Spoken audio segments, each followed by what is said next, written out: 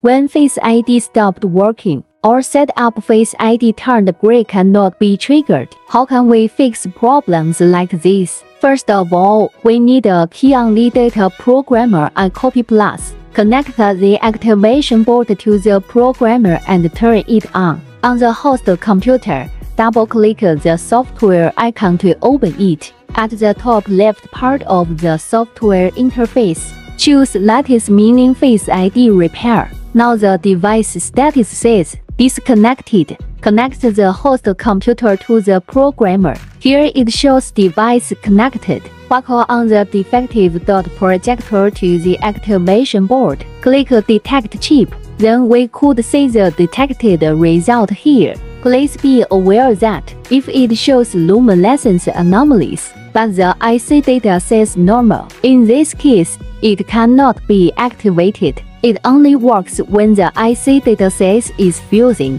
Besides, it cannot be activated when IIC says IIC breaking. Next, we need to back up the data of the defective dot projector. Click Cloud Backup.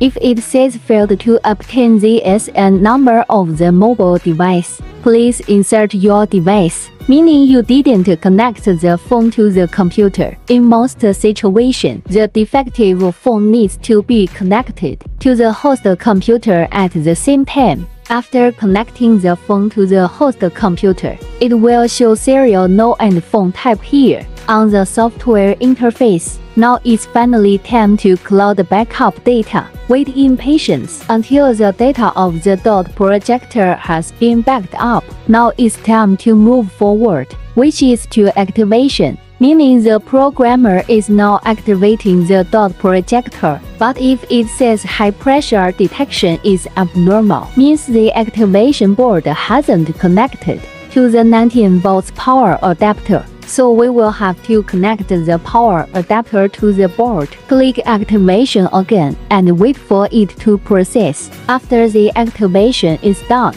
prepare a brand new dot projector repair flex. Buckle on the flex to the activation board. Click cloud burning. Here we choose the data we backed up earlier. Click burn and wait for it to complete. When it says data transmitted and write in, success, take off the flex. At last, fold the flex according to the iPhone model. Flex folding instructions for iPhone X. Flex folding instructions for iPhone XS.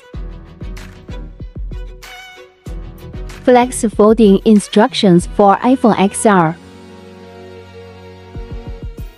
Flex folding instructions for iPhone XS Max. Flex folding instructions for iPhone 11. Flex folding instructions for iPhone 11 Pro. Flex folding instructions for iPhone 11 Pro Max. Flex folding instructions for iPhone 12 to 12 Pro.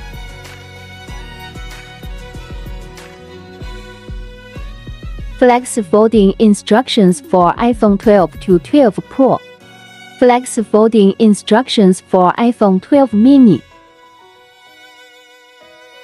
Flex folding instructions for iPhone 12 Pro Max.